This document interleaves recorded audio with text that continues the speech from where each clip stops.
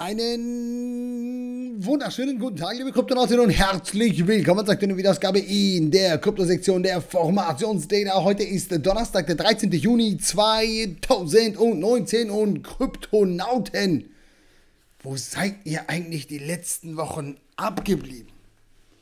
Im Ernst, liebe Kryptonauten, äh, schön, dass ihr wieder da seid, wenn wir wieder da sind. Ich bin so ein bisschen unangekündigt äh, abgetaucht. Erst war ich geschäftlich im Ausland und äh, dann haben wir richtig viel zu tun gehabt, äh, um die Kryptonauten-Kommandozentrale äh, sehr, sehr, sehr bald für alle zugänglich zu machen. Wir haben einen richtig coolen Partner gewonnen, kommt alles.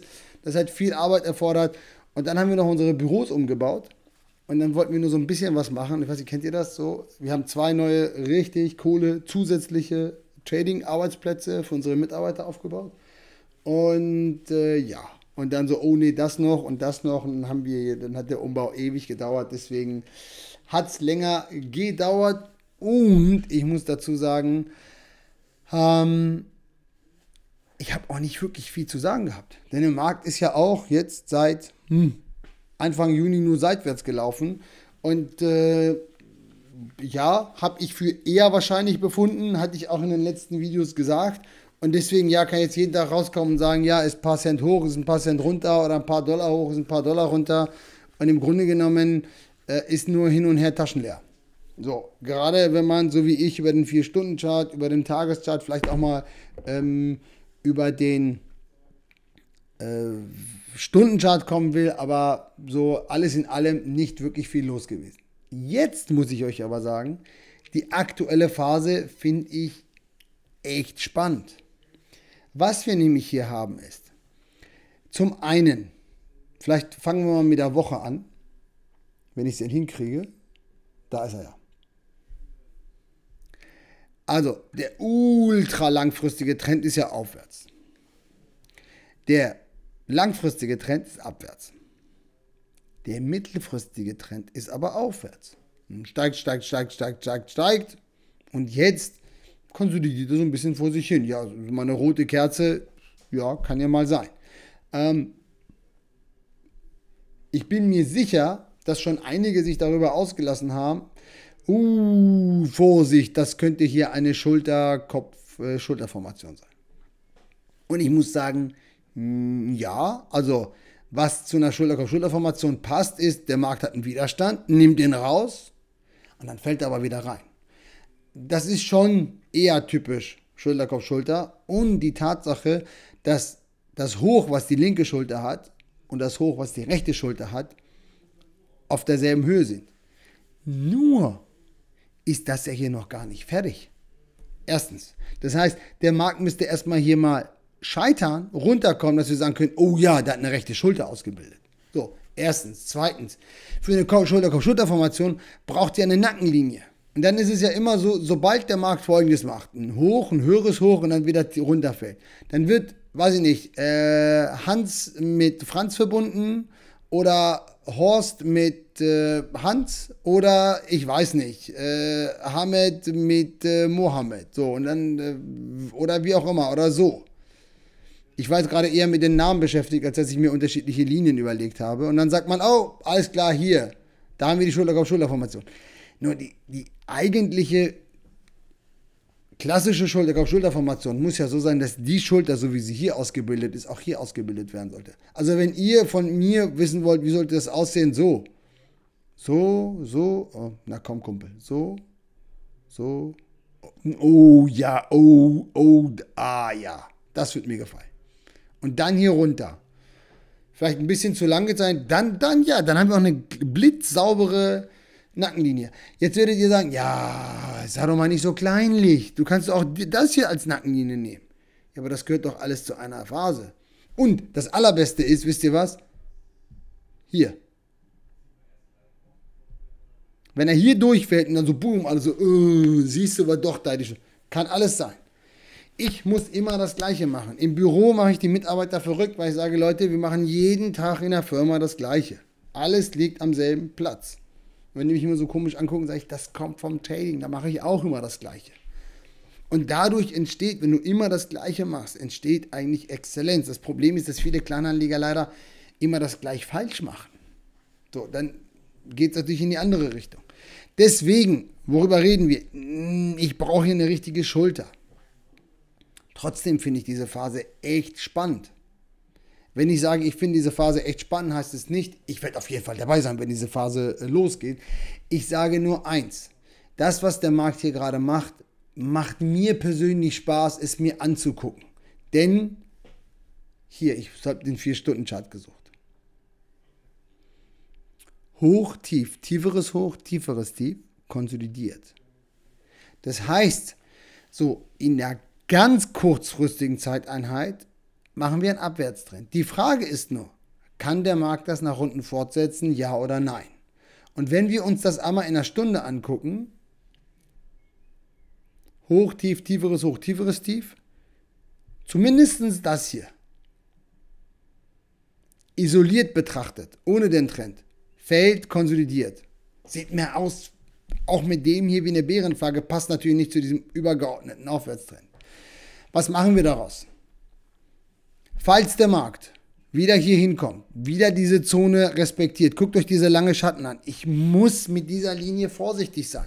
Aber wenn er sie mir nochmal bestätigt und nochmal bestätigt, dann muss ich sagen, du, das sehe nicht nur ich, das sehen auch andere. Ansonsten muss er hier irgendeine Horizontale mir angeben. Fällt konsolidiert. Spekulativ wäre diese Linie, konservativ wäre es natürlich diese Horizontale.